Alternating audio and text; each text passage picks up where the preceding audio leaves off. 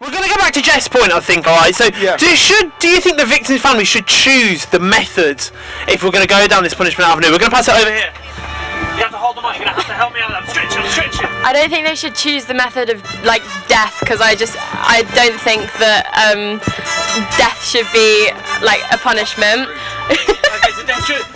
It's a little bit ominous, isn't it? Talking about death right now with this parade going on behind us. Free But, from uh, desire playing in the background.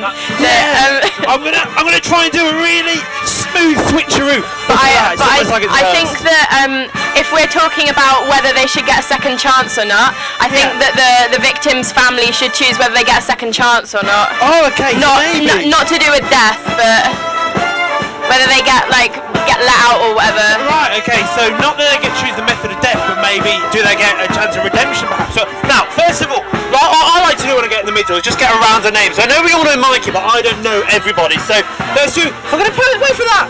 That trombone just to pass there, because it's pretty fabulous, isn't it? But I think we'll get around the names and we're going to carry on this. So we are going to start here with Mikey. What's your name? My name's Mikey. Mikey. Tristan. Tristan. Brian. Brian. Poppy, Poppy. Izzy, Izzy. Liv. Liv. My name's Jeff. Jeff. You've been waiting all day for that one, haven't you? Yeah. Will. well, great name. John. John. Elizabeth. Elizabeth. Emily, Emily. Kate, Kate. Tegan, Tegan. Elizabeth. Elizabeth and I am Will. This is Talkaoke, and what a day we've been having, isn't it, Mike? It's been fantastic. So, what was it? You've been here for an hour. Well, for it's an been a good hour, I'm hoping. Yeah. But I just want to talk to talk about this idea of you know, what justice is all about, and I do think it should be all about the if someone gets murdered. The, I think that's might be yeah, thanks. Uh, but there's this idea called restorative justice, where somebody, if they, you know, the thing, an eye for an eye and a tooth for a tooth, and a life for a life.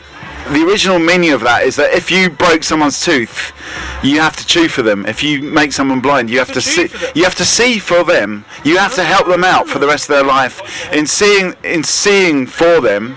So in a way, the justice of killing somebody is about helping out that family or about trying to repair. It's impossible, but it's about trying to repair the damage that's done. That's done. So, if we think then actually they get redemption, they should now help the family. Is that is that something? Or we'll go back over to Jeff. Let's say, is that not just one interpretation of the Bible? In the fact that the, the words are written like that, but you know they could be interpreted in your way. But then the other way is you take their eye. You know, it's it just depends on uh, who uh, who you ask and who- you know who's who's thinking about So it. we've got many points. I'm going to bring it over to Emily first of all. I think if someone's murdered someone, they should set it up so like they die how they killed the person. Okay. All right. So we're getting we're getting a little bit dark now, people. All right. Is it cake first. Yes, Can I, John. can I throw this one in and, I, and then I'm going to go? I, I'm not a believer in the death penalty and I never was. Um, I was thinking in a humane society it has no place. And then I was having a conversation with someone and I said, I don't believe in the death penalty, it shouldn't exist. And he said, Do you have a child? I said, Yeah, I've got a daughter. And he said, What if someone killed your daughter and hurt your daughter? What would you do? And I said, If I could get to them, I would kill them. And I don't believe in the death penalty. So that is. That's a really So sticky sort of moral area for me. come Yeah. Well, no. Well, in that case, do I believe in the death penalty? It's a tricky one, isn't it? Because if it's someone else, I think it's, it's hard to empathise, isn't it? No, we've got a couple of points. We're going to come over here. Um, I think that if if someone's killed someone, then killing them would be like the easy way out for them. But if you just punish them for the rest of their life or something, then that's pretty. So is it, is it, is it the incarceration like, system? but- is that to punish them, or is it for rehabilitation? What what's it for? I guess it could be yeah, take them away from what they could do again. Yeah. Because if they could do it again, then why would you let them just get away with it by killing them and get giving them a way out? Okay, Will's Will's maybe thinking that we should just put them all on a little island. All right, I think maybe maybe try that before. Final thought, Jeff, before you go. Despacito 2 on the way. Okay, Despacito on the way. We're gonna come to Mikey. Had a point. Uh, just um, just repair, try and repair the damage that's done. Get the criminals, not just with murder, but with any crimes, get them to repair the damage that's done. Like for example, whoever stole my Android charging cable, if they just bring that back, I'd be happy.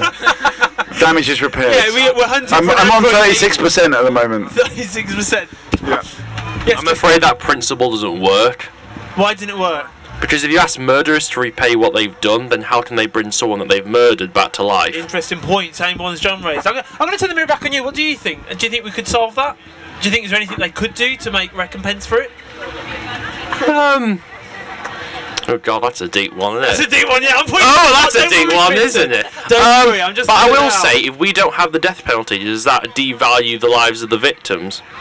Oh, okay. All right. What do we go? What do we think, guys? Bloody hell, it- steady on until you have to. Jesus. I mean, I mean, that, I think, I think, Kristen, you just stunted the conversation there. I just dropped the oh, mic mean, and I'm walked away a sorry, moment. Yeah. Wikipedia, I mean, what do you think? Christ. Do you want to carry on with this? Do you want to take it down a different avenue? Yeah, we what can- are we, we can move thinking? on. What do you guys want? It's up to you. Move on. All right. All right. What do you want to move on to then? What do you want to people want to talk about? Legalisation of marijuana. Le- all right, straight in there. with the legalisation. I'm just saying. What? So what? What do we? I just want to say because I think this does link together because it's like who I mean obviously something like murder we all know that's wrong and it shouldn't happen but there's lots of things that the government dis- defines as illegal that I don't think are wrong for example the imbibing of marijuana I think you know and there's plenty of things like what is legal is not the same as what is right or wrong Okay. So, w- w- any opinions on this? What do we think, guys? Do we agree? Do we disagree? Yes, Liv. I don't really know whether I agree or disagree because obviously there are like two sides to everything. But I think when the Lib Dems were doing their campaign, I think they just sort of chucked it in there to appeal to the stoners and get more votes. Oh, okay. We, we were talking about this a little bit before, weren't we? Sort of appealing to the younger generation. So, do you think they, the Lib Dems actually believe that, or is that something they're just doing to get more votes? Um, I don't think they'd really thought about it enough, like as much as they should have done. Oh, okay, interesting. Well, I mean, we've gone very quiet over this side of town, but Tegan, what are you saying? Well, marijuana isn't the only thing that affects society, and it is illegal. But there's like cigarettes, there's drink, and everything, which are more of a bad cause than everything. Because tobacco is the number one biggest killing drug, Okay. and that's still legal, and people are allowed to do it. I mean, you see everyone pretty much doing it. What do you think that is then? Why do we think that that's that's legal and the rest of marijuana is illegal? Well, I think it would be pretty hard to make it illegal because of the amount of users. Whereas the, compared to the amount of users of marijuana, there's a tiny little percent. I mean, a lot of people probably have smoked weed before, but like it's not like druggies or something like that. Yeah. All right. No, we're going to come to Wilt and Mikey, both big, big passionate Alright. over here. Yeah. I, I believe that weed has kind of become a very demonised drug, and no one has ever died of. You can't overdose on marijuana. Whereas, how, however many people die from alcohol and tobacco related. Um, Don't panic. That wasn't a reaction So, to yeah. you, Will. That's Tobacco, okay. yeah. It was a wasp. Don't tobacco and panic. alcohol related um, like health issues.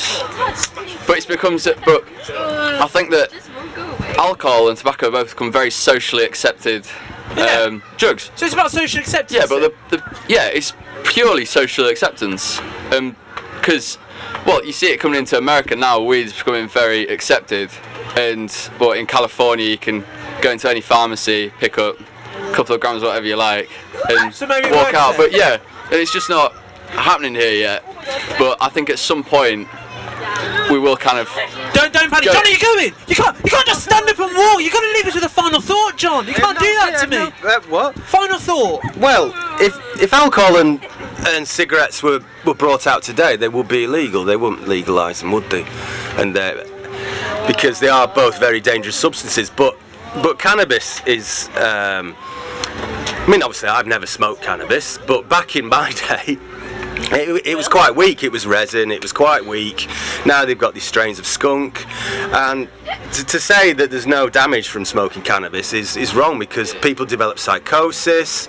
Um, some some of my peers. I mean, I'm in my mid 40s. Some of my peers who smoked it, they've thrown their lives away because they spent their whole lives watching box sets and, and smoking weed sat on the settee, and that's a waste of a life because that's all they've done for 20 Oh, years. That's quite the final thought there, John. Leaving on that That's one. my final thought. Have we enticed you back in to stay for a little bit longer? No, I've got to go. My wife's going to kill me. No problem. Well, Big round of applause for John. There, you've been absolutely brilliant. Now, I did promise I would come over to Mikey first. No, I kind of agree with a lot of what you're saying, but I don't think that means it should be illegal. You know, I've got friends as well that have just smoked their lives away as well, and also, I live on a on a council estate, and a lot of those ki- the kids that live there are all smoking weed, and they are getting absolutely.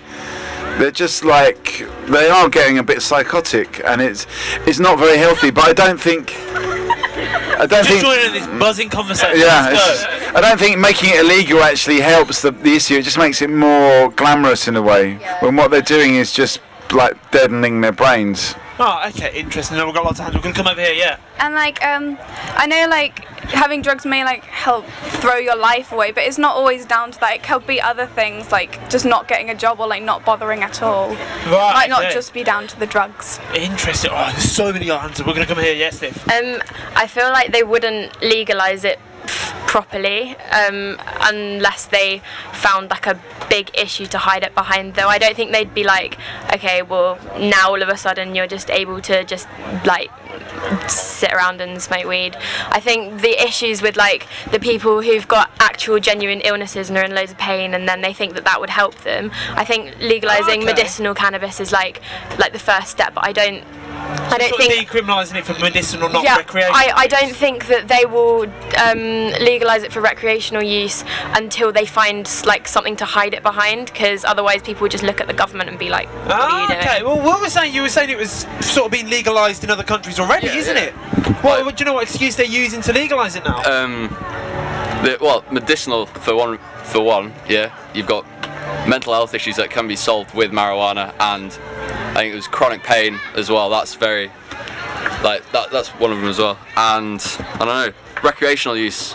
Yeah. It's, it's just nice to kind of sit back and No. have joint for most, isn't it? you got lots of points. We're going to come here. You've been waiting a long time. Yeah, but marijuana doesn't really solve mental health issues. It just kind of like makes them numb, so they don't actually feel it, which means that they'll just like end up in a spiral, getting worse and worse, and then they will be Right, unemployed.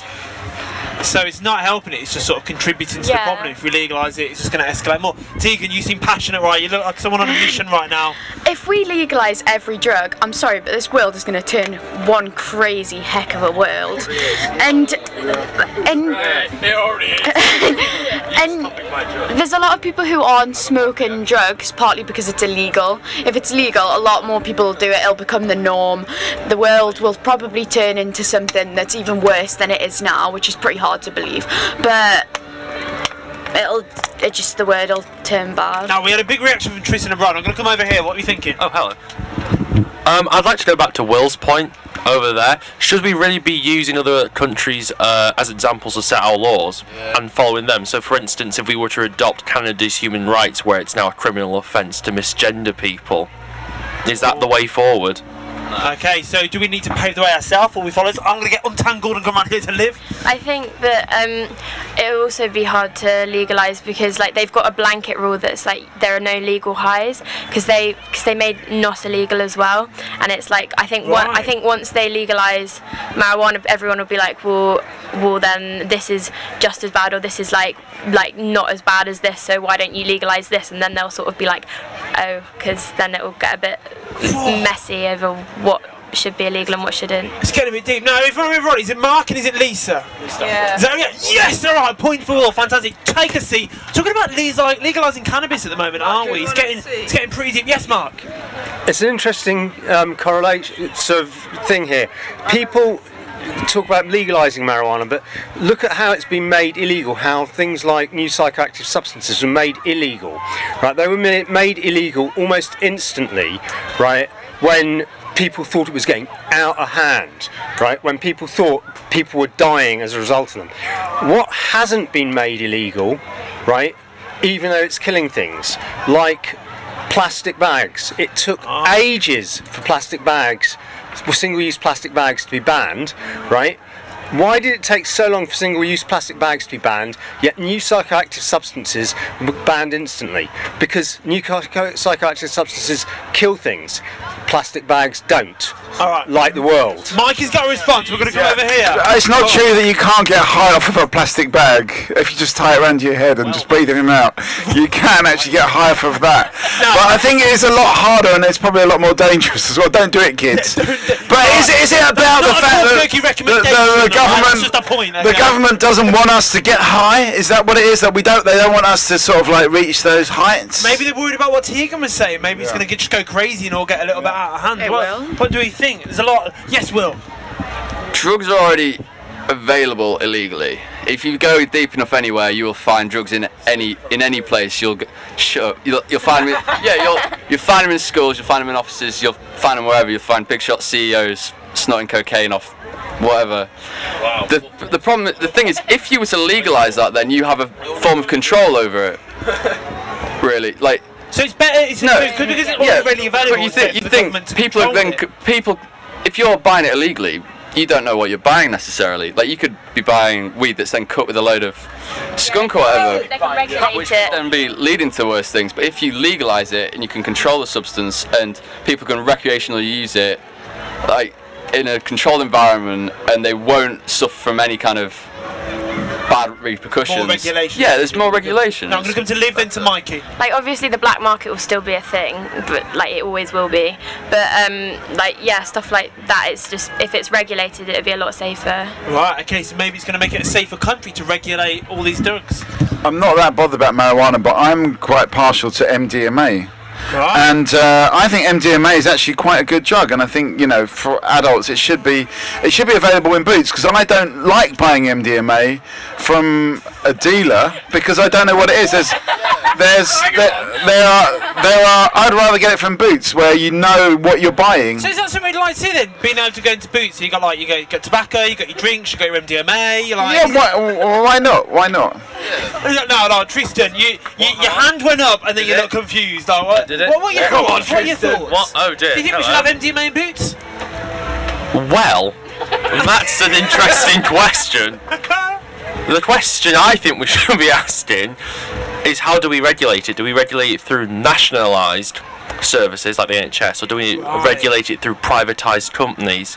Okay. More like so through like Boots, for instance, or, or would you rather get MDMA from the government? So do you need to go to your G- local GP to pick up your sort of your MDMA for the festival or to get your fix? Is that, is that what we're saying? All right, we're going to go up to Mark first. Yeah. just it's interesting. Um, I knew this chap um, who used to peddle a bit of weed, and you'd have thought that somebody would who sell weed would be pro legalization, and he was completely against the idea of legalizing it because his thoughts were that when it's illegal. Pretty much. I mean, okay, you can buy it from dodgy geezers on the street and you're a muppet, or so you get it from someone you know, and when you get it from someone you know, you buy it from some everybody knows them there it's all friendly so everyone's your mate because otherwise you get into trouble right if you get strangers involved. And so he was against legalization because he felt that if you legalized it you'd go to boots and you'd buy it. And boots is a dispassionate company that's only interested in the bottom line and they'd screw you over. Whereas he was quite a nice guy and wouldn't uh, cause any trouble Y- y- Your local friendly drug dealer is probably a better option than maybe Boots. I mean, Mike has not had that experience. What we're going to do? Come to Elizabeth, then we're going to go Will, then we're going to come Liv. Oh, are you guys going already? Let's get a final thought. Before we go, Lizzie, you've been very quiet in the corner there. Shed some light. What's your final thought? Drop the pipe Come on, drop a truth bomb on us. What are you thinking? I. I think coffee and alcohol are really serious drugs. Oh, okay. Thank you for that one, Mark. What you say before you go? So uh, yeah, the most serious drug is probably something that's totally legal, and that's money. Brilliant. Well, thanks for coming back, guys. Big round of applause. Boy, crossing out really well. We're going to come to you, Elizabeth. Yeah. Um, Reese over, we need to go now. Final thought before you go. I don't know. It's a tricky one, isn't it? Don't worry, it's, it's going. Tegan, any final thoughts? Um, make drugs legal. There you go. Any more final thoughts? Yeah, no, no. It's just, it's just a bit of a confusing one. Tell you what, let's come, let's carry this conversation going on. Will, what were you saying? What was I saying? Um, We were talking about legal. Oh, yeah, drugs. Mark well- dropped the truth bomb Well, about he's- money's the yeah, worst. he had drug. the whole thing about his friend, but he probably that probably all happened somewhere in the 90s where drugs are nice and everything was warm and fuzzy. But now you've got very competitive markets and people are cutting with what cheaper substances and it's all going to be a bit dodgy. Yeah. So you're not really going to get that now. Okay, now I promise I'll come Liv. I'll go Liv Mikey, then we'll come to Brian. Um, I just want to ask a question. Are there any medicinal benefits of MD or not? I don't know. Well, really cool. Any, anyone know? We're gonna pass it over here. Yeah. I think, I mean, you know, when we talk about benefits, I think, you know, it's, you can get a, a big high from it. You do a lot of exercise, and it's very good for your fitness, definitely. Um, but, I, you know, are we? I don't want to focus because I think w- I think part of this kind of NHS approach is that there has to be some kind of moralistic medin- medicinal benefit, and I think um, in doing that, we're kind of really missing the point of what drugs are for, which are about uh, getting high and about a good feeling. Um, and I don't think we should be ashamed to say that's what it's about. It's not. y- Oh yeah, you do make friends and you do have a. You know, you do get fit from dancing a lot. Yeah. But it's not really what it's about. It's about the the the feeling of you know of of that high, really, and, and being and loving life and loving people. Okay, now we are going to carry on, but we've got a new face at the table. What's your name, my friend? Uh, Sam. Sam, lovely to meet you, Sam. We have Mikey, we've got Tristan, we've got Brian, we've got Poppy, Poppy thank you, I nearly forgot. We've got. Hey, what's that again? Izzy. Izzy, thank you, Izzy. We've got Liv, we've got Will. Elizabeth. You go, Emily, don't leave us as Sam's coming in. It's about to get heated. What? Leave us with a final thought. What's your final thought? Bye. Bye. Well, thank you for coming over. So we've been talking about sort of the medicinal benefits to MDMA at the moment, and Mikey was saying that makes you dance a lot and sort of can give you a bit of exercise. All right? Any thoughts? Yeah, come join in. Can I just want to say, I'm not, I'm not saying to people, I don't, I would advise, I wouldn't advise anyone to, to try MDMA because you don't know what you're actually getting, and that's a problem. That's why I think it should, if it was legal and supplied by chemists, then you know what you're getting. Because there are some other substances when you try and make it at, in an amateur fashion that can actually poison you, Right. Okay. like PMA. Oh, okay. Ah. What, what's PMA? I'm going to throw it out. I, don't, I can't remember exactly what it is, but it's like a poisonous kind of subversion of MDMA that can, you know, that can actually poison you. It can lead to heart attacks and stuff like that. Oh, okay, that does not sound fun. Alright, yeah, does that sound like ketamine, does it? No, it's, well, no, that's not ketamine. But we were just, she thought that was ketamine. Right, okay. Well, what do we think, guys? Do we, do, do we think that this is something that. How, how would we go about regulating this then? That was a question we had earlier. How do we regulate this if this is something we want to do? Yes, Brian. You have like a drug baron in like each individual area, like the Hambleton district drug baron, and he would like he Who would track the- it up. So who would be the deer shed baron? That's what I want to know. I don't know. Is, is Boyney here? Then he Would you, would, you, would, would you would you have like what, what would you have? What would you have then? Would you have like somebody that looks after an area, or is it Yeah, yeah, looks like after an Hambleton event, a district, festival? Ham- Hambleton district. You got like maybe some in Lincolnshire. I don't know, some Geordie fella doing one in Newcastle. I don't know. like all these different. It's got to be local. You can't. Yeah, be yeah. like, you know, you couldn't have a Londoner come up here and take over. I think it, and they have a big doomsday book just full of smack and drugs. Right. Okay. Well, well, Will, you seem quite. Oh, okay. We're gonna come over here. I don't think yeah. there is a way to regulate it because it's always going to happen. Ah, so maybe it's not a way. Yes, Will. Uh, well, testing into like each substance and then just. Everyone looked over. Te- yeah, testing Do into. you think we should regulate drugs? Is that, well, that's what we're talking about at the moment. Do you, come tell us about it. Come look. No? That's alright, don't worry. She smiled though. It's all making people happy. Carrying on, Will. Sorry. Oh yeah, just testing into it. We need more research because it is a fairly untrodden path, like research-wise. Alright, now Sam's Like got a point. We're going to make Sam's Talkie Turkey debut first of all. Yes, Sam. Uh, I don't see how they can regulate it though when they're always changing it, like the dealers. Right, okay, so if they're always changing what's in the drugs, Cut then out they the can't. dealers, Alright? make it a, f- make it a farmer, farm, like get it from a Family-friendly pharmacy, pharmacy, not a family-friendly product, or a family-friendly product, yeah. But yeah, they get the pharmacists to deliver it maybe. They're going back to Mikey buying Mandy and Yeah, I mean, I just want to, in a way, say the same point again. Uh, you know, I think there is this kind of moralistic thing that people, th- like, don't, you know, somehow the government doesn't want us to enjoy ourselves, to get high, to do these things. And, you know, they're not, rather than aiding something which I think is good for the country, which I think, I personally think taking MDMA would be good for the country. Um, they actually, not everybody, but you know, for for young people, for, for parties, for raves, I think it I think it's good for the country. But rather than do that, they've got this moralistic approach. Whereas getting high, where getting high is actually considered a uh, a bad thing. So, do, you, do what do you guys think? Do you think the government wants us to have fun? Yeah, you guys over there. Do you think they want us to have They fun? They don't want us to have fun. No. All right, Mike disagrees. That's why they. That's why there are no legal highs. Ah, okay. Is it, so is that why there's no legal highs? They don't want us to have fun, but they're doing it themselves. Oh, okay. Oh, it's getting deep It's now. the class system. that Only the rich people can have fun because they have the money to back it up. Sounds like a playground brawl. I'm just saying. Right, so we reckon that all. So, well, okay. Let, well, let's backtrack. Let's get everyone on the same page. So we're saying that the elitists are getting to take all the drugs and have all the fun, but they don't want the rest of society to have. So that's why they're not regulating it. Um, there's a book written in the in the late 19th century called Confessions of an English Opium Eater by Thomas de Quincey, and it's all about his experiences of taking opium. And that time he was an aristocrat, and all the aristocrats were on opium. And it's only when that supply got to a wider group of people, like the working class people, and it's it started to people started to be worried about oh, can they do their jobs if they're all on drugs? Yeah. That this drug legislation started to come in. it was it was the Bayer Pharmaceuticals in 1912. Um, came up with the trademark heroin. It's actually a, an- a trade name of Bayer Pharmaceuticals, um, and they introduced heroin as a product in pharmacies Right. Okay. to actually to cut. It was a it was first marketed as a way of coming off of opium addiction. Right, now before we come on, we've got a new face at the table. What's your name, my friend? Stephen. Stephen, nice to meet you, Stephen. Um, Will, we're talking about lots today. We're talking at the moment about drugs, and you know, we're talking about whether they should be legalised, decriminalised for recreational, medicinal use. And the minute we're just sort of talking about how it would be regulated. Mike has mentioned a book before. Who, what, who what was the It was again? uh, Confessions of an English Opium Eater by Thomas de Quincey.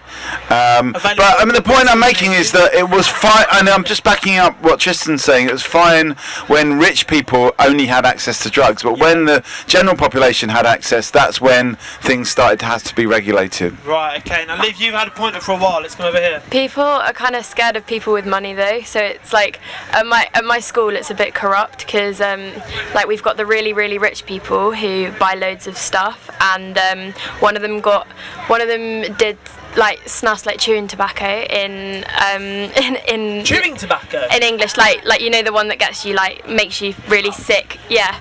And um, he did it, and then he started puking in English. They took him to the med centre, took his temperature, and went, "Oh God, that's not like he's taken something." Yeah. They s- room searched him and found it. He was already on his third last chance, and then and then they were like, "Okay, well this is your last chance," and then they they didn't expel him. But there are other people who are like slightly more like Okay.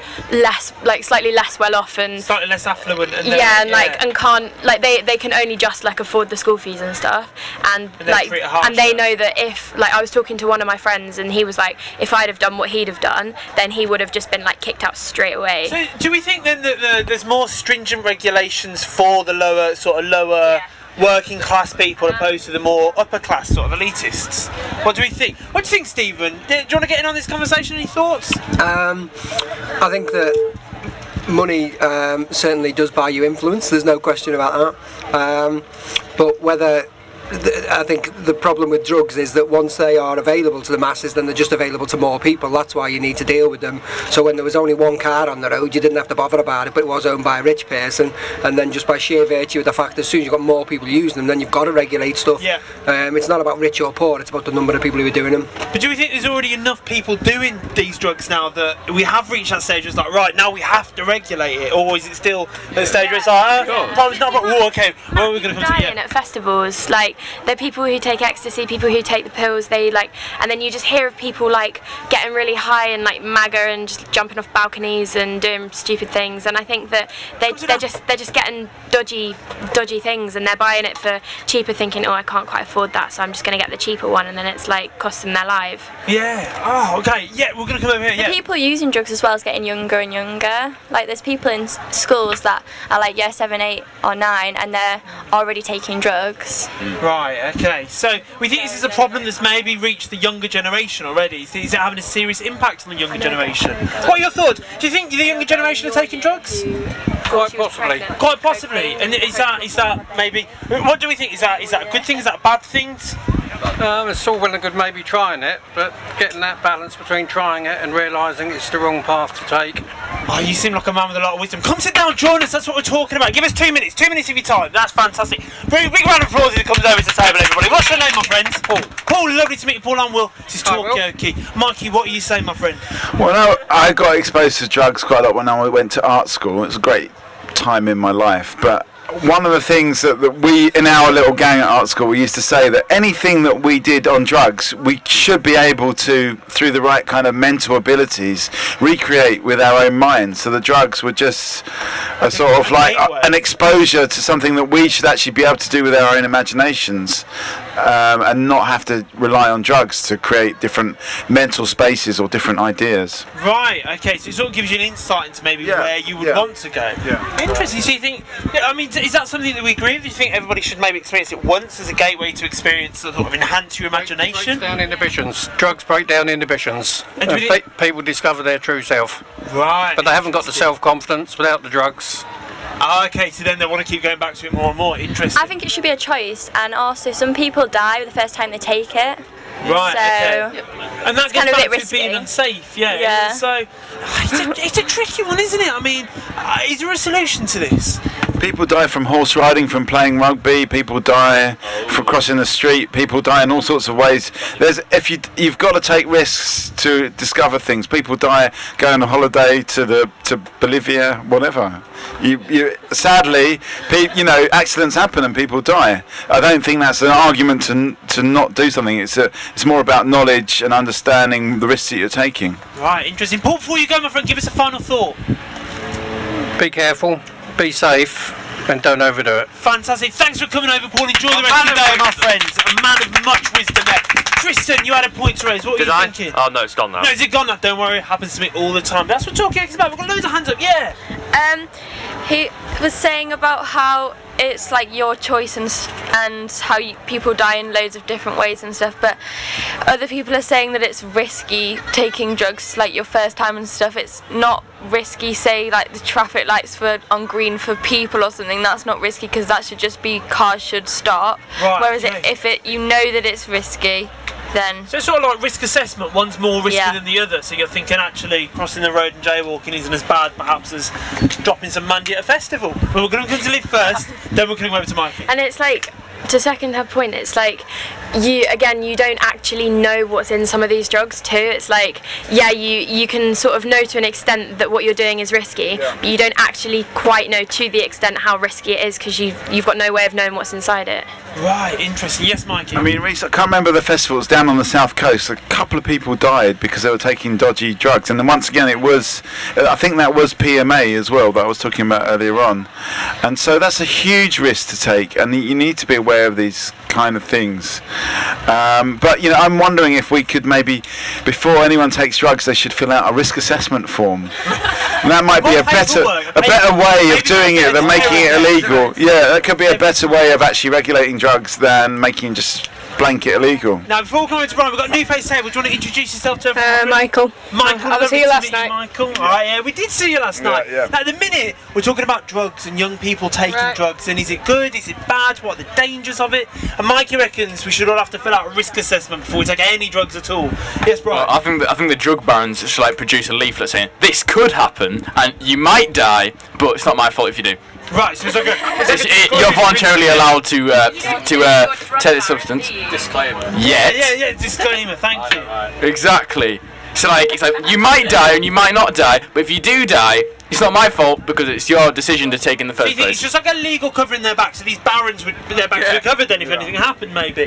What are your thoughts? Sam, you stay quite quiet over here. What are your thoughts, my friend? Don't really have any on this topic. It's a bit of a tricky one, Yeah. isn't it? Oh, vanilla. Uh, no, but that's all right. That's what talking about. I just like to make sure everyone's still involved. I just want to say, just some. Um, I'm, I work with uh, in Ravensbourne School of Art in, in London, and they're they're working on something called cyberdelics, which is virtual reality spaces, which are kind of like a psychedelic space without having to take drugs. So it's about creating. Because the, the psychedelic experience is a mental experience. It's not necessarily about the chemicals you take, but about your state of mind. so you can actually okay. induce this using virtual reality. Th- th- Do we think that's something maybe that is good? Is it bad? Y- You know. Yeah, I think that's good because there's like this, you're doing what you want to achieve through drugs on a slightly lesser scale, but like just without putting yourself in any harm. Negates the risk. It negates the risks of Yeah. it. So is that something you think that you would be more open to doing? Yeah, Michael. I think that that will be a good idea. Why um, might that be a good idea? Because you're not going to kill yourself by using VR, are you? You're not going to kill yourself. You, I don't know. Can you kill yourself using VR? We're going to come to Mikey. Yeah, no, I was just because this reminds me of a conversation we had a couple of weeks ago on a Talkaoke where we are talking about. it was that standard conversation about kids are not getting out there in fresh air enough and they're not doing horse riding.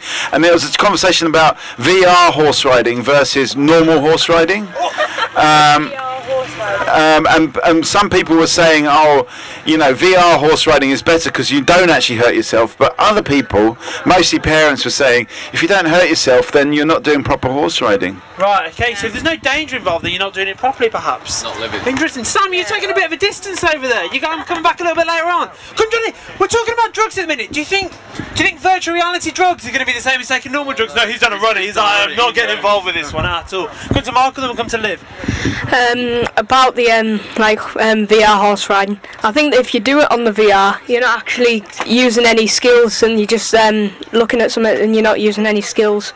Right, okay, so if you're not if So you're not, at it, so you're not using actually learning something. You just um, you're just um, doing it on VR. Right, okay, interesting. Alright, we're gonna come to Liv first, yeah. Yeah, it is a skill, but it's also like it's also like adrenaline and going fast. It's like why you go on roller coasters, but yeah, roller coasters you're not really in control of. Like they're generally safe, but you never really know. But like horses, you're kind of in control unless they go a bit wonky but like it's just again it's like one of those sports it's like if you want to get good at it you can be in the olympics whatever you can like you can like achieve things through like real horse riding but not through vr horse riding So, well, I don't know. Could we have a VR Olympics? Do you reckon? Really? Uh, I, I, I, I'm, I'm, I'm just the man in the middle with the mic. I'm asking you guys. I want to see. Poppy, you had a hand for what? What are your thoughts? I was just like people. You might not learn any skills doing VR horse riding, but like maybe that's not the reason you want. Like you watch TV, but you're not going to learn any skill from that. You just do it because you want to out of entertainment. Ah, okay. So maybe it's more for a leisure activity instead of sort of a skill-inducing one.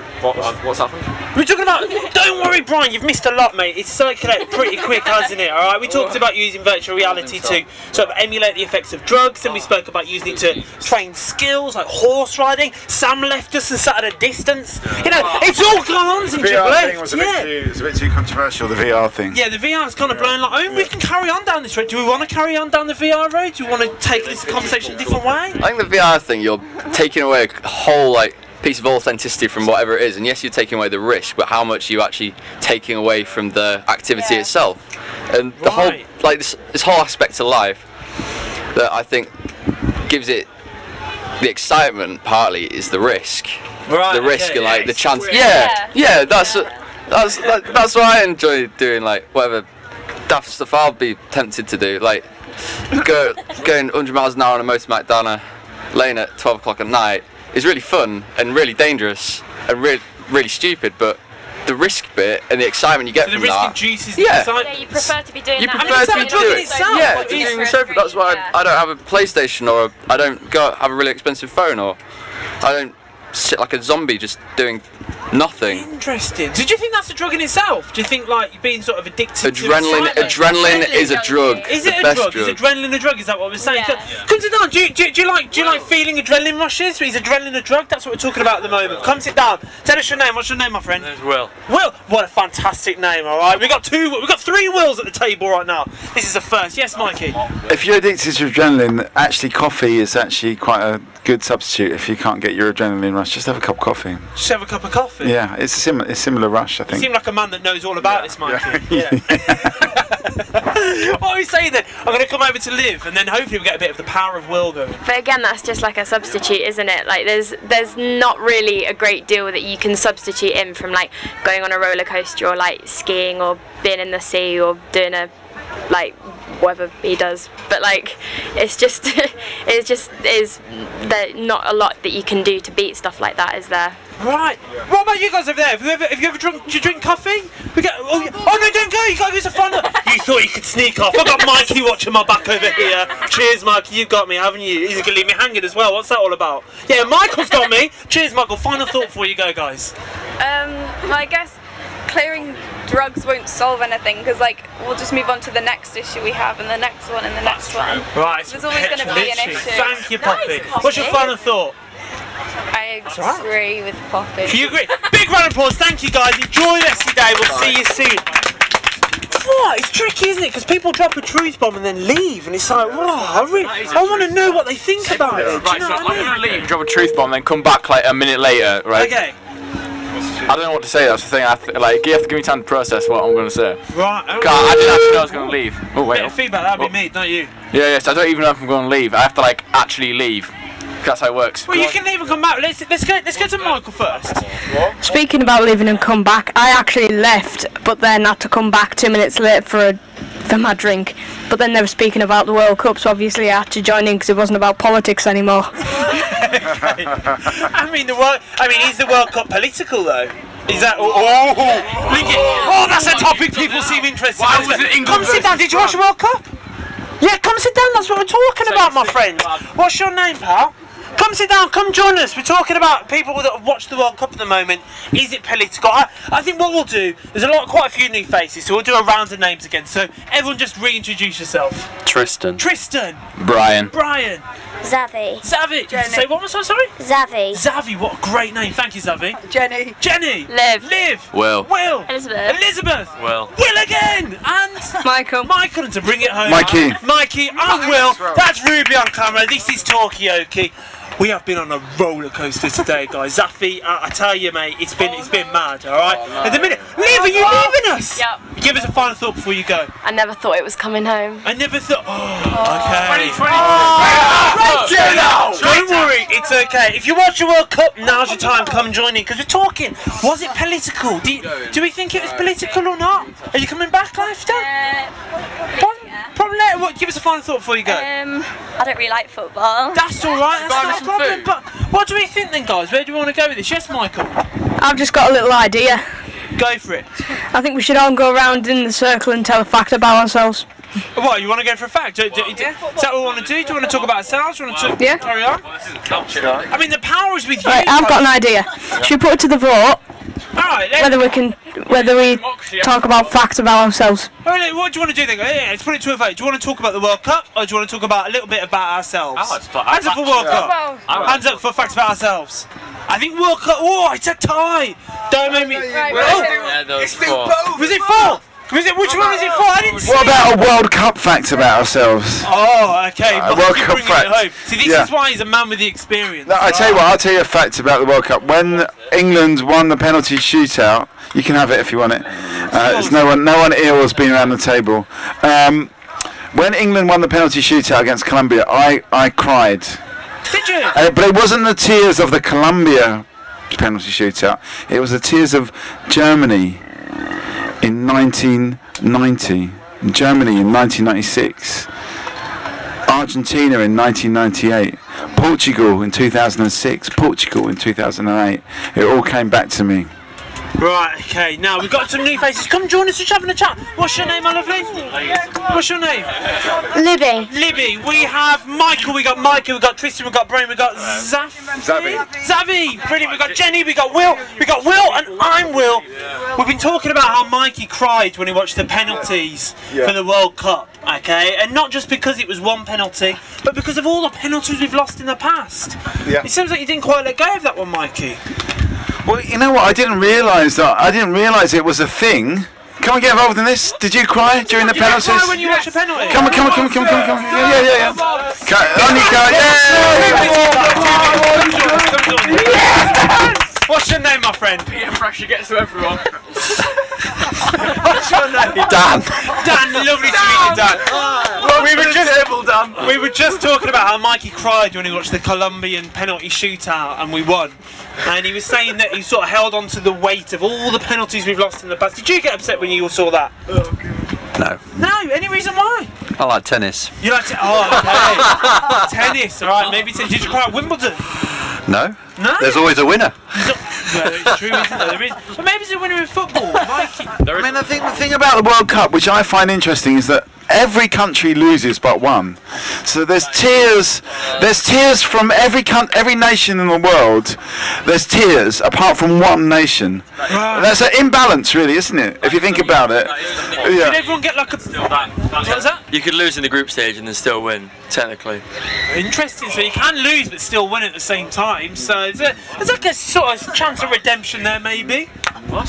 What are you thinking, Tristan? Should we give everyone a trophy then? Sort of participate, pa- participation. I sound like Sean Connery there. Participation. They all get participation levels though. Do you- what do you think? Do you think everybody that that participates in a sporting event should get a participation medal. No. Is that what we should have? Come sit down, that's what we're talking about. Round of applause as you join us at the table for two minutes. Come use two minutes of your time. Two minutes of your time. Come on over. We're going to keep clapping. Come join us. We're going to keep it going. It's like a panto. We're not going to stop. It's happening. That's right. Yes. Fantastic. Dan, final thought before you go. I've got to go back to work. Go Thanks. back to it. We'll see. see. Come join us. We're having a bit of a chat at the minute. Come join us. We've got plenty of tables. We can. Michael, can we pop your helmet just on your lap there? We can free up another chair. Brilliant. We've got a chair there, chair there, and a chair there. Jenny, don't worry. We've got space. We have room. You got to go to yoga.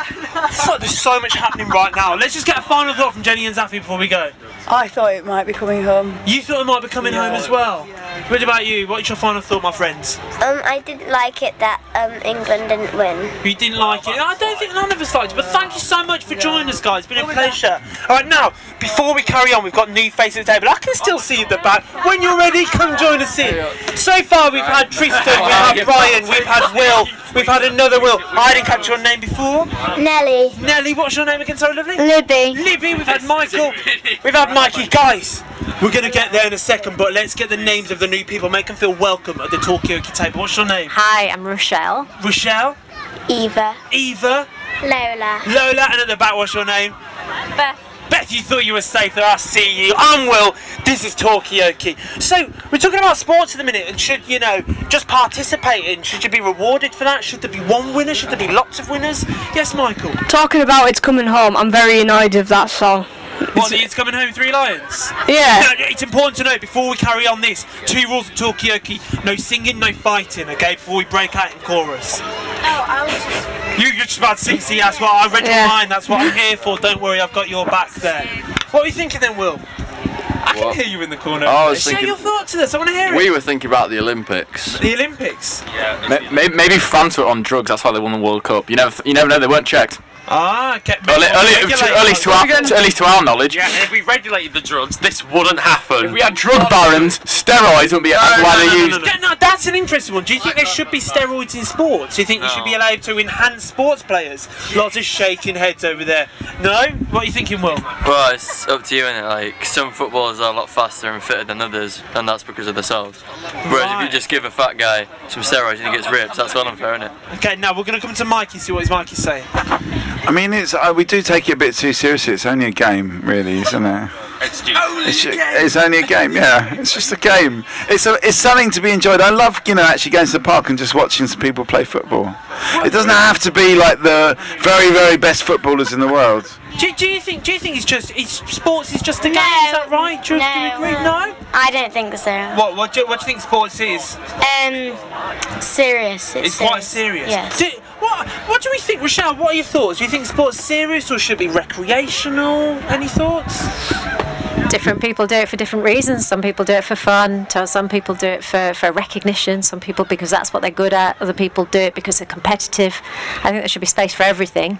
Um, but there's an impact when it's all about competition, and that excludes people, and that's that's the problem. That's a lot the of wisdom coming out of you there, Rochelle. Oh hell! So, do, do we think that's maybe negative then? Is sports having a negative effect if it's making fe- people feel excluded? But sort of tying with what Mikey was saying. If sports having if sports has a negative effect, then if the if they think it has a negative effect, then probably the best thing to do is not play it. So then you don't feel like it has a negative effect. Ah, okay. So maybe don't don't take it into account. Just sort of block it out. I think with France, just going back to the point that France won the World Cup, every other country in the world is crying. It's mostly losers, isn't it? It's mostly losers, and that's really life. Um, but you know, they're all they're all participating. They're all getting involved in the competition. We're all watching. You know, so it's not. It, we've just got to accept that we're all m- probably going to lose in life. That's yeah, get used to it, and I think that's a lesson to be drawn from the World Cup. Do you think? Do you think you can live your life without losing at something? Do you think? Do you think you can win at everything in life? Yeah. You've re- come sit down. That's what we're talking about. This is perfect. mother. Hello. I'm Tristan and Jude's mother. Who's Jude? I'm Brian, actually. Yeah, well, we've got Tristan and Brian at the table. You can pick your know name. my cover. We've been here for almost two hours. Yeah, I trying to say something. Come sit down. Try. Tristan and Brian, big round of applause. You join us table. Two minutes. Give us a last thought before you go, guys. Oh, How's it feel about losing? We're gonna get Losing good? Do you learn? I think we learn a lot from losing. Um, I think you can't win all the time. And and actually, the sooner we learn that, the, the better. But it doesn't stop you trying. Well, thank you. Big round of applause. Enjoy the rest of your day. And keep the round of applause going as you come join us at the table. Come sit down. Make yourselves comfortable. That's all right. You can sit at a distance. We're going to come to Will first. I think winning and losing is a very perceptive thing. Like you can, well, you can lose something, like you can lose the World Cup, but then you can just learn from that and just not be bothered. Like I'm not, I'm not bothered. We didn't, we lost, we lost the World Cup, but it's like, don't matter, does it? So do we think losing Can is we important? go next time? Do you think you need to lose at points? We're going to come. We Just go over here, then we're going to come back. Um, yeah, so then you get a feel of defeat instead of winning all the time. Right, so it's important to have a sense of defeat sometimes. So interesting. Right, we've got some new faces. You're going to come join us as well, pal? I'm having a chat about sports in a minute. Yeah, give us two minutes of your time. Two minutes of your time. Come on, round of applause. Come join us. Two minutes, two minutes. You don't have to stay for long. There's no time limit. It's fine. That's right. We've got some new faces. What are your names? Daniel. Daniel. Tom. Tom, I'm Will. We've got many faces here. We're just having a bit of a chat about sport and whether or not losing's important. I think you learn actually learn more when you lose than when you win. Like we were talking earlier on about three hours ago about Brexit. Yeah. Um, and actually, actually, Hours ago, Jesus. we, we've learned a lot about the flaws in the political system. You know how you know how, we've learned a lot about. Bre- I mean, I well, um, I consider it a loss because I wanted to remain in the EU. Um, but actually, you learn more. If you learn more when you get it, when you don't succeed. So maybe you're going to learn more. I mean, is that what? Is, do people agree with that? Do you think you actually benefit more when you lose from when you win? Yes, Michael. I think you do benefit more when you lose because you, you can learn from your mistakes that you made to make you lose. Right, interesting. Do you, do you think it's important to lose sometimes, just so you can learn from things? Come join us. Come sit down. So we're talking about. Give us two minutes. Big round of applause, join us at the table. We like clapping and making people feel welcome here. What's your name? Jenna. Jenna, lovely to meet you, Jenna. I'm going to do a round of names. I'm going to test my memory. We have Michael, we have Mikey, we have Tristan, we have Brian. Brian at this table. But we also have Will. We have, is it Jenny? Jenny? Gemma, sorry. Ben. No, help me out, my friend. Daniel. Daniel was close. Uh, Tom. And Tom, we have Will, we have Nelly. Nelly. How could I forget? And finally, Libby. Libby. Thank you guys. You're going to have to bear with me. Lots of names today. But we've been talking a lot. So, yeah, do you think it's important to lose? Do we learn more when we lose than when we win? Yeah. Yeah, and people need to learn how to deal with failing and failure. Yeah, I, t- I teach, and you see, if kids have always, have never, never wi- practiced the other side of picking themselves up off the floor. So it's, important there's a certain yeah. way to handle defeat, do you Yeah, think? definitely. Right, Yeah. do we agree with that? Yeah. It depends what attitude you've got because if you lose, you might just think, well, I'm not gonna win, so I might as well just give up. But if you win, you might just keep on trying. So Libby, you sort of agree with Gemma that it's, it's all about how you handle that defeat. So maybe when Colombia, you know, when we lost all those penalties before, you didn't have to hold on to that, Mikey. We could have let it go. Yeah. What do you think? It's nostalgia. I mean, uh, you know, I think in a, I, I think yeah, we you learn it, you're learning all the time, but I, th- I think that actually. In a way, dealing with the defeat of, you know, I'm still dealing with ni- 1990, 1996, 1998, and 2006 and penalties we lost in the 2008. World Cup, yeah. I'm still dealing with all of that, and I realise that now. And actually, so actually winning the penalty shootout made me realise about the, you know, the losing and the, and the emotional consequences of that. So is it in a, in a way it's about how you lose and how you deal with the losing. Yeah, you not in agreement then? Yeah, Yeah. yeah. Stop wrapping the kids in cotton wool. Let them fail. Do you think? What do we, what do we think, Daniel? Daniel, guys, what do, do we think we should fail in life? Do you think it's important at school to fail? Yeah, otherwise you're not gonna like learn that if failing, if you fail in later life, it's not a bad thing necessarily. Safe space. Yeah. Yeah. Uh, kids, do you know at school?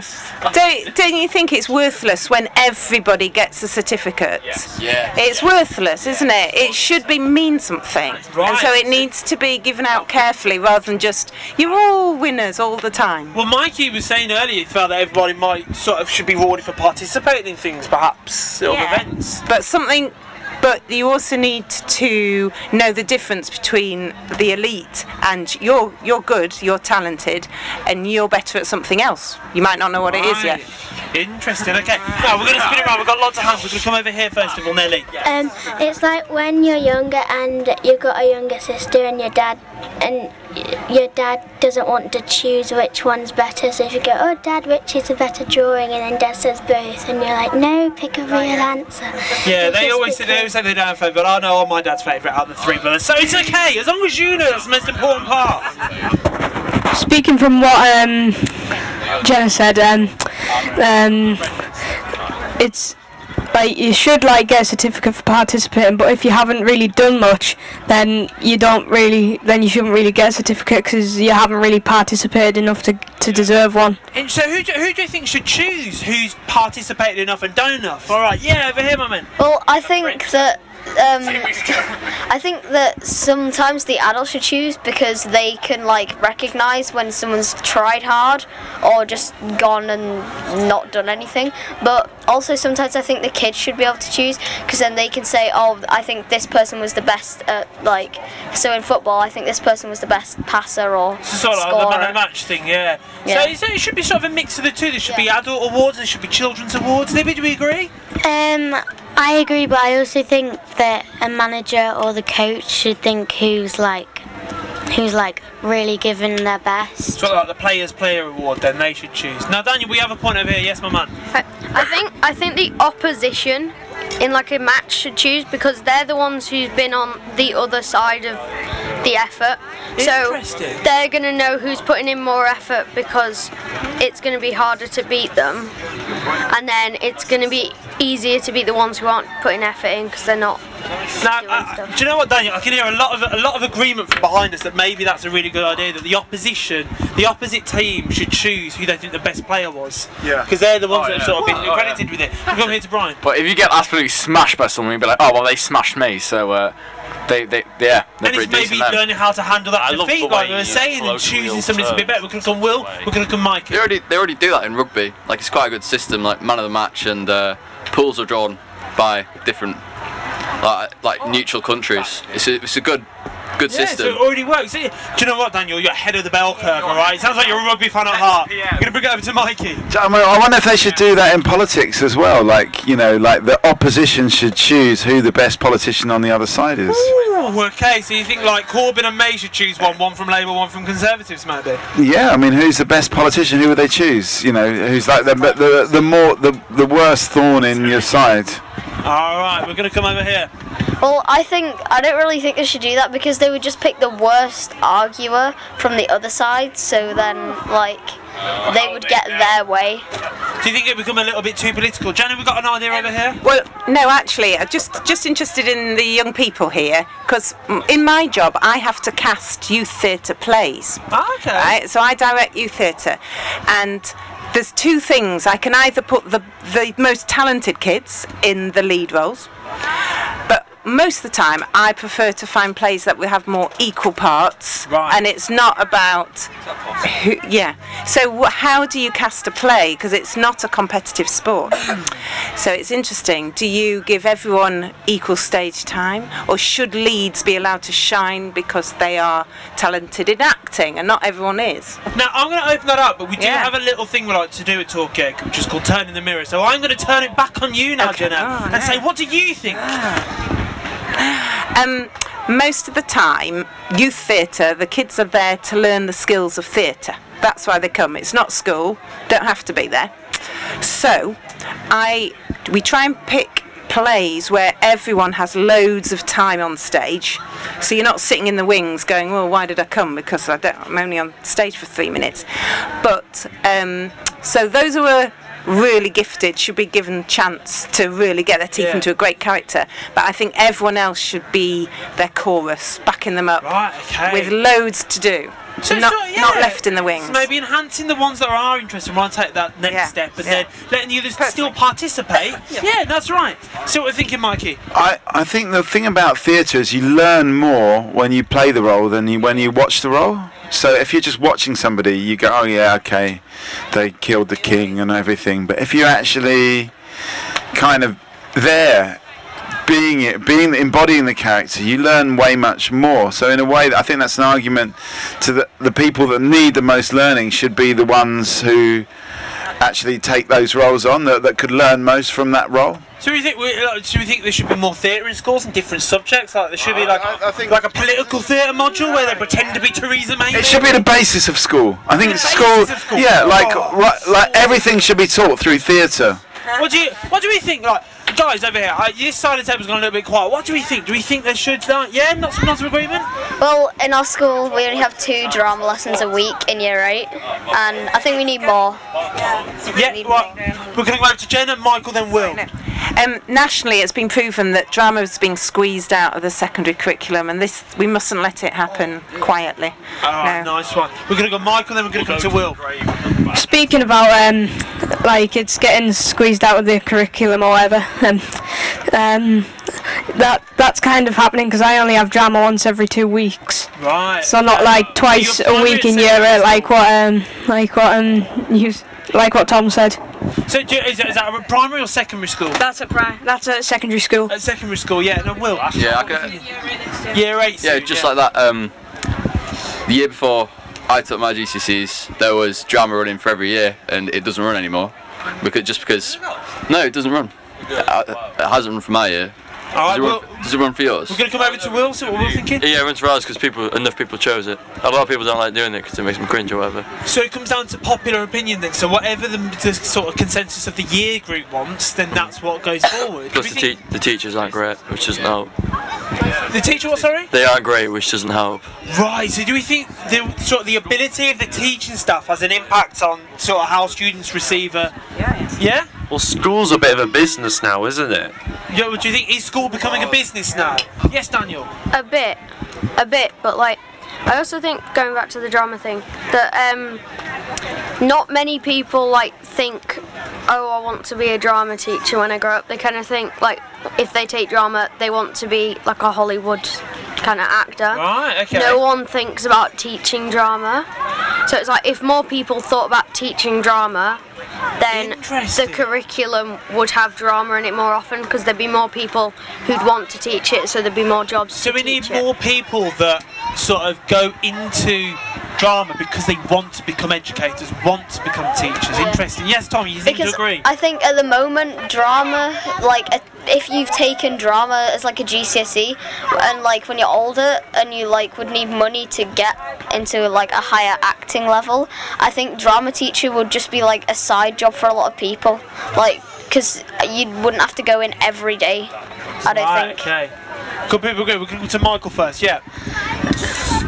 Um, it's it's probably true that like um, like um, um, drama's been taken out because there's only um, one drama teacher for the whole school, and there's at least about 700 or something in, in my school or something. Right. Okay. So you maybe you need more. So is it like you have like several maths teachers? You need Yeah. several drama teachers as well.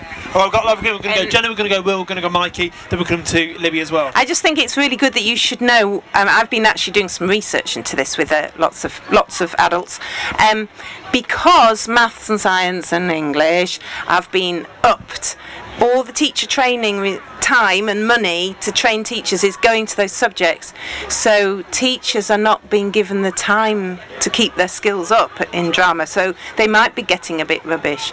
So it's a full circle. They need yeah. more time given to staff members, maybe, Yeah, so they can sort of yeah, learn skills. yeah. All right, where's who's going to go to next? We're going to come to Will, Michael. Yeah. Yeah, yeah, that's right. But that, that comes back straight back to the whole school's just becoming a business, and it's and and that it's it's a bit heartless really because you you're not taking it's become a completely one size fits all thing, which is wrong the really. soul's being taken out. Yeah, yeah, yeah. People have no choice. You've, you've, you've got.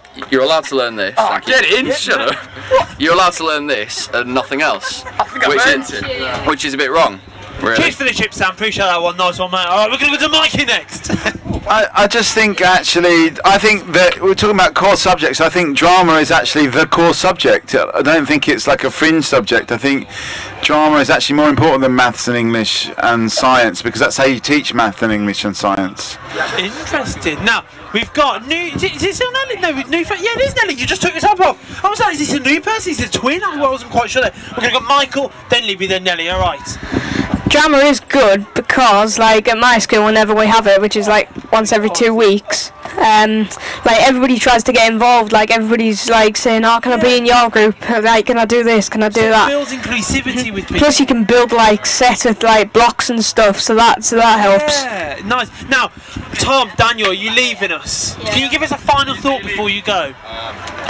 Um, We can get a final I- thought I before you go as well. I don't know. Uh, I just think the drama is actually really important because, like he said, uh, it helps people do team building and stuff. Nice, thank you, Tom. Daniel. Also, I think drama is important because, like, if you're going through something like someone in your family's died and you're emotional about it, then you could let that out with drama instead of letting it out in a different, kind of more violent way.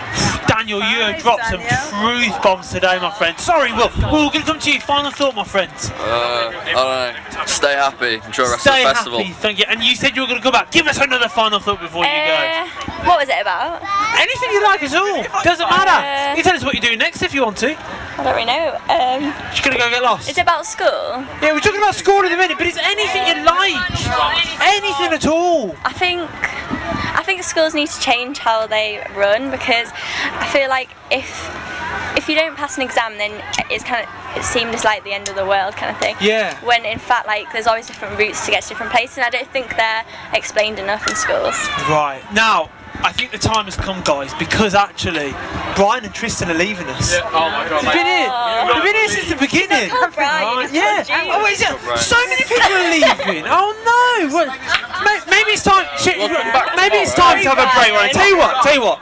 Before everyone goes, how about we get around the final thoughts? We'll take a little break and then we'll kickstart it up a little bit later. Yeah. Because we need to eat as well. We need a bit of food. I, as long as it takes us to grab some food and get back in the middle. But before we carry on, guys. Gonna stay at the desk. That's okay. Before we carry on, let's get some final thoughts. We're going to come to you first, Tristan. Sit down, sit down. Sit down. Let's get one final round of thoughts, and then we can all leave. Oh. Let's share a final thought with each Um, other. Because it's been a journey, guys. It's been a journey. He who controls the past controls the present. okay. Well, I want to start that with. Good luck following, Brian. Um, I just want to tell, tell everyone to stay groovy and uh, 420 Gucci Gang and all that. all right, fantastic. Thank you. Will, do you want to share any more? Do you happy with your final thought? you're happy for? Good shit. Uh, Good shit. I don't. Good food. I'm, I'm getting a bit of food envy right now. Jenna, bringing it home. What's your final thought? Okay, I just want to say to you kids, you can change your schools, your education system. Don't let it become this factory. Okay, change it. Change it. Let's all fight it. Do you want to add another final thought? Think about anything. Anything you like. What's the first thing that comes to your mind? Uh, don't know. Don't know. That's all right. Sometimes we don't know. That's cool. We'll pass it on. Though. Will, what's your final thought? People don't want to become drama teachers because kids are horrible to teachers. People. Oh, okay. Interested. Nelly, what are you saying? Um, that, That was me, not you. Don't worry. that when um, people, when like your maths teacher says, oh you, you're going to uh, use maths every single day of your, the rest of your life, but you'll actually use drama to be able to speak to people and Use drama more than and yeah. um, be more confident to other people. Yeah, you're gonna be more confident. Libby, final thought. I think that um, the teacher really has a real impact on how you learn because if your teacher's saying, well, you can't do that, that's not good enough, you need to try harder, you might just feel like, well, I shouldn't be told what to do. I, I can do what I want. Yeah. And the, by them telling you what to do, it makes you just not want to do it. Most definitely. Michael, final thought. A wasp climbed into his beer. That's it's, all right. it's out. It's out now. Bit, bit it's out now. Bit of protein. It's all right. Is that your final thought? Uh, yeah. Yeah, cool. Nice one. Thank you, Mikey. Bringing it home. What's your final thought? I think people have just got to realise that actually schools are- are not educational institutions. They are storage centres for young people, just so, so that there's, you know, so that they're off the street, they're out of danger, um, and they're, they're there to to make people conform. They're not actually there for to develop people. We need to change the paradigm of education and, and make it focus on the student and and let them lead the education system and, and do what follow what they want to do. Amazing stuff, guys. This has been Talkaoke. We've had Mikey in the middle. We've had Ruby on camera. I've been Will. Give yourselves a round of applause. You've been Ace. We are going to bring it back in a little bit. We're just going to get some food. You've got prime time seats. Don't miss them because we'll be back with a vengeance in a minute. I'm, I'm staying here.